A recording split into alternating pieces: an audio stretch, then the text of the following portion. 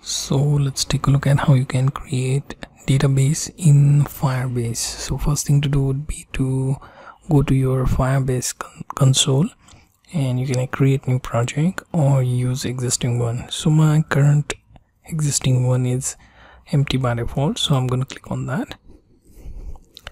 Now in this project i want to choose firestore instead of real-time database so what i'm going to do is choose cloud firestore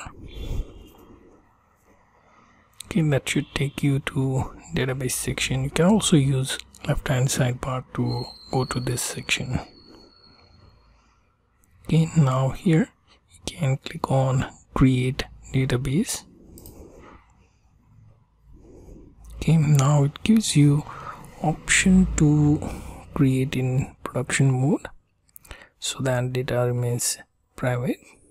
Or you can use test mode. Okay. And here there is not much of privacy. And read write mode will be accessible if anyone knows reference to your database. Okay. So click on next. Okay. And here you can choose the location so I'm going to choose US Central. You can choose Europe as well. So I'm going to choose US Central.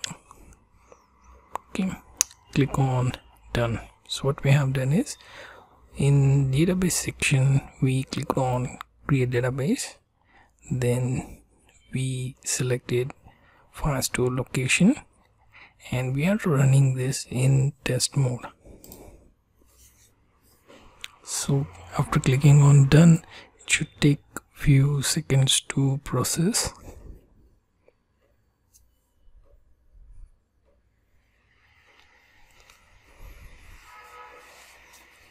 And once processed it will redirect us to new database page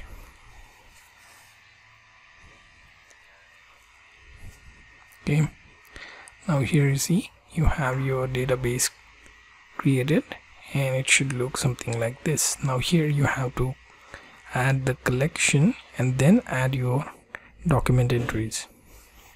So you get the idea how to create firestore database in your firebase project